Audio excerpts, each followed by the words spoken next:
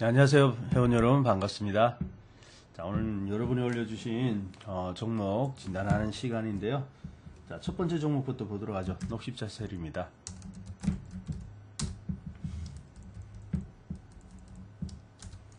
자, 녹십자 셀 아이고 계속해서 저점을 깨고 내려가고 있죠 어, 비중은 얼마 안 되니까 이렇게 많이 빠지면 조금 힘들지만 좀 참아 보시고요. 과매도되었기 때문에 오히려 지금은 막 손절하기보다는 조금 더 내리더라도 참았다가 반등을 기다려야 되는 게 좋을 것 같고요. 그래도 이게 뭐 나쁜 그런 종목은 아니지 않습니까? 그래서 기다려 보셔야 될 것 같아요. 자, 근데 비중이 좀 그렇게 많은 편은 아닌데 자꾸 적적까지 깨고 내려가서 힘들다 할 경우에는 그때는 조금 일부 덜어내셔도 좋겠습니다. 좀 참아보라고 말씀드리고 싶네요. 네, 좀 더 하락은 할 수 있지만 하락에 막바지 다 되어 갑니다. 자, 그리고 한솔. 한솔 테크닉스, 음, 뭐 계속해서 바닥을 다지고 있죠. 그냥 보유 관점으로 봅니다. 네, 그리고 성신양회. 성신양회도 지금은 그렇게 썩 잘 가진 않죠. 오늘 또 하, 빠지고는 있지만은, 음, 항상 이런 하락은 언제든지 나오고 있죠. 네, 성신양이도 비중 얼마 안 되니까 그냥 가지고 있겠습니다. 그리고 하우시스, LG 하우시스. 네, LG 하우시스도 좀 빠지고는 있는데 오늘 좀 또 신적 가네요. 네, 그래 이건 또 이 종목도 좀 참아 보도록 하죠. 근데 비중이 좀 많으세요. 비중이 많은까지 확인된 건 아니, 바닥이 확인된 건 아니니까 비중을 좀 가볍게 가시면 좋겠습니다. 좀 가볍게 덜어내시고 자 그리고 삼성증권 삼성증권도 이제 여기가 바닥 자리는 되는데 탄력 있게 막 올라가고 그러지는 않을 겁니다. 조금 바닥을 바닥에서 바로 급등하고 이러지는 않거든요. 바닥은 그냥 횡보할 수도 있기 때문에 비중을 조금만 가볍게 가시면 어떨까요? 좀 지루할 수 있습니다. 자 그리고 CJ 시푸드 네, CJ 시푸드 그냥 가지고 있겠습니다. 보유 관점 계속 횡보만 하고 있죠. 그렇지만 보유하도록 하고요. 그리고 농심 자 농심도 살짝 저점 깼는데 예, 뭐 저기 전저점을 깼어요. 그렇지만 오늘은 더 하락하지 않고 옆에 세워주고 있으니까 이제 바닥 나오는 듯합니다. 어, 농심 가지고 있겠습니다. 지금 참으시고요. 근데 농심도 좀 비중이 조금 더 가벼웠으면 좋겠네요. 자 그리고 신일산업 네, 신일산업 보유입니다. 보유 관점 비중이 조금 많은 것 같아요. 그렇지만 어, 많이 빠지진 않고 있으니까 가지고 있겠습니다.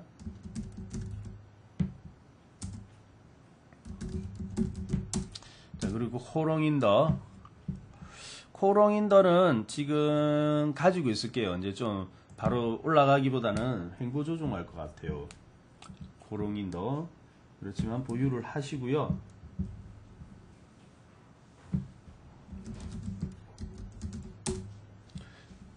자 그리고 D, DNA 링크 글쎄요 소량만 가지고 있죠. 비중 40% 많습니다. 더 깨면 안 되겠고 오늘은 이제 크게 맞았는데 오늘 한번 참아 보시고요. 비중 올라오면 가볍게 가세요. 이게 40%나 가지고 있을 종목 아닙니다. 자 그리고 지오 소프트도 보유. 보유하시는데 2,500원 깨면은 이거 비중이 많으시기 때문에 2,500원 만약에 깬다면 좀 덜어내셔야 될 것 같아요. 일단 보유 관점으로 보도록 합니다. 그리고 파인 디지털. 파인 디지털도 좀 많은 거 아닌가요? 네. 비중 좀 많은 듯한데 뭐 관점으로는 보유 관점으로 보도록 하겠습니다. 그리고 롯데 쇼핑 자 롯데 쇼핑도 이제 유통주들이 어느 정도 이제 바닥을 잡는 듯한데 그렇다고 해서 이런 것 이런 종목들은 급등하는 종목들은 아니거든요. 어, 롯데 쇼핑 30%좀 많아요. 가지고 있다 반등 오면 좀 가볍게 가시는 것이 좋겠고요. 그리고 카카오도 마찬가지. 네, 카카오 계속해서 이거 저점 깨고 있죠.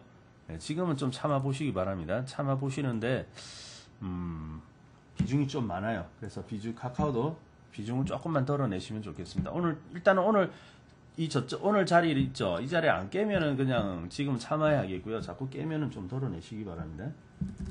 수성 네, 수성 10% 보유를 하도록 하고요.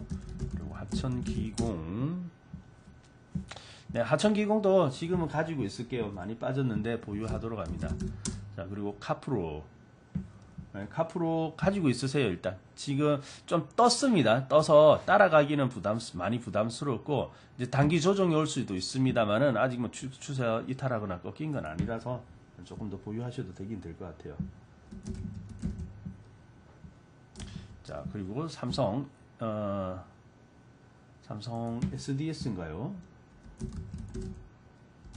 한글이죠. 삼성 SDS는 한글입니다. 반등 나올 듯 해요. 그냥 가지고 있겠습니다. 삼성 SDS 보유하시고요. 그리고 이마트. 네, 이마트 보유 관점. 아, 이거 오늘 살짝 신고 까놨는, 신적 까놨는데, 오늘, 이, 오늘 자리는 좀 참아보고 싶은 그런 자리입니다. 보유를 하시죠. 참아야 합니다.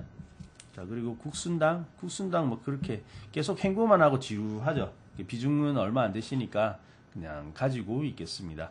자, 이렇게 해가지고 여러분이 올려주신 종목 진단하였는데요.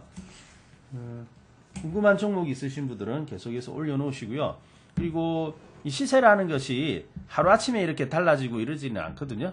바닥 다음 날이 천정이 아니고요. 천정 다음 날이 바닥이 아니죠. 그렇기 때문에 막 하루 이틀 시세 가지고 막 이렇게 막 그 전략이 달라지고 이런 거 아니니까요. 음, 너무 하루 이틀 단기의 움직임에 대해서 민감하실 필요는 없습니다. 자, 그러면 진단 여기까지 보도록 하겠습니다.